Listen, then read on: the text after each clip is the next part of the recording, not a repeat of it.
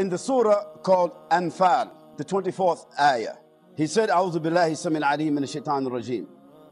يا أيها الذين آمنوا استجيبوا لله وللرسول صلى الله عليه وسلم إذا دعاكم لما يحييكم واعلموا أن الله يحول بين المرء بين المرء والقلبه وأنه إليه تحشرون واتقوا فتنة لا تصيبن الذين ظلموا منكم خاصة واعلموا أن الله شديد العقاب In this ayah, Allah subhanahu wa ta'ala said to us, O you who believe, respond, give your response, your obedience to Allah and His Messenger sallallahu alaihi wasallam when He calls you to that which gives you life.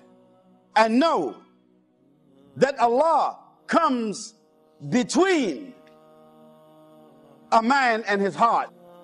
Allah subhanahu wa ta'ala knows the inner recesses of a man's heart. And that knowledge of Allah subhanahu wa ta'ala can fortify that if it is good, and Allah can reject it if it is other than good, because Allah, He knows what is between the consciousness and the heart of a person. Allah, He knows.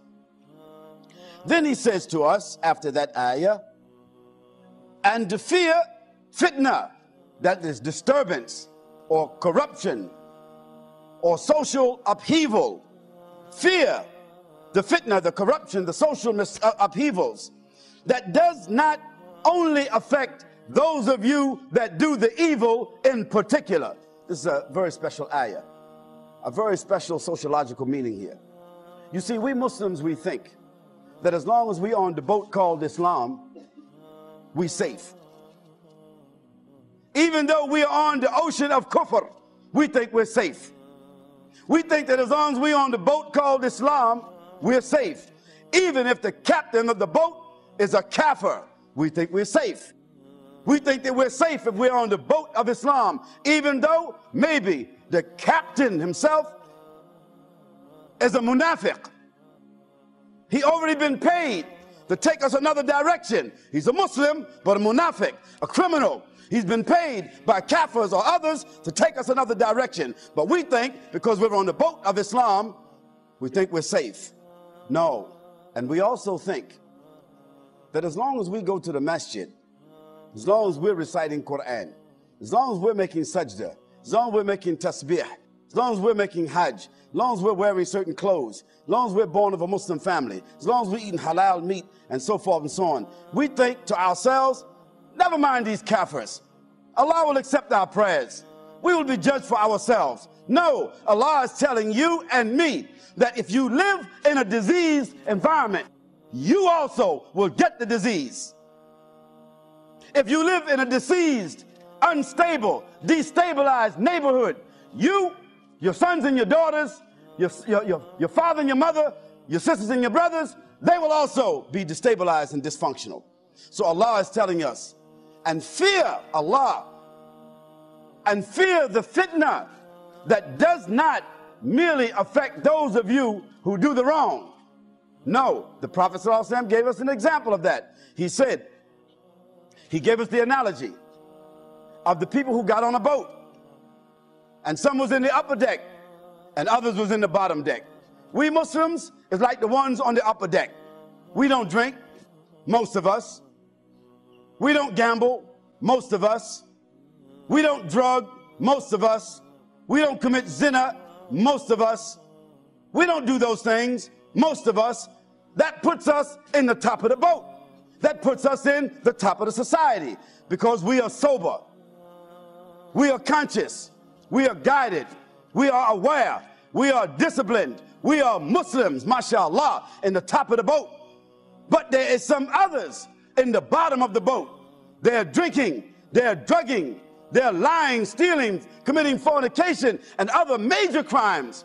And among those is kafirs and mudnib Muslim.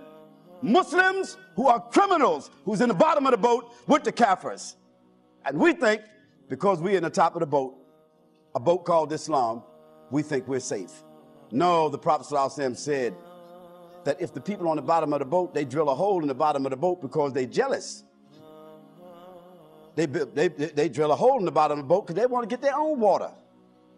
They don't want to be coming up to the top to be getting nothing from you, even though they know what you got up on top. They don't want to do that. So they say, you stay on the top, we on the bottom, that's our part of the boat. We're going to drill a hole, get our own water, do what we want to do. That's the society. We're on the boat, called the society. We're on the top deck, called Islam. The Prophet said, if the people in the top of the boat allow the people in the bottom of the boat to drill that hole in the bottom of the boat, what's going to happen to them? The whole boat will sink and everybody will drown. So this is where Amr bil Ma'ruf wa Nahir al Munkar it comes in.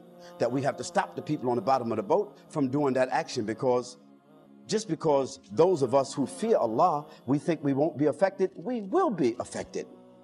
So Allah subhanahu wa ta'ala said, Istajibu lillah wa Rasul sallallahu alayhi wa sallam. Respond to Allah. When He calls you and His Messenger sallallahu when He calls you to that which will give you life.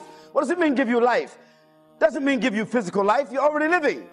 But it means bring dignity into your life.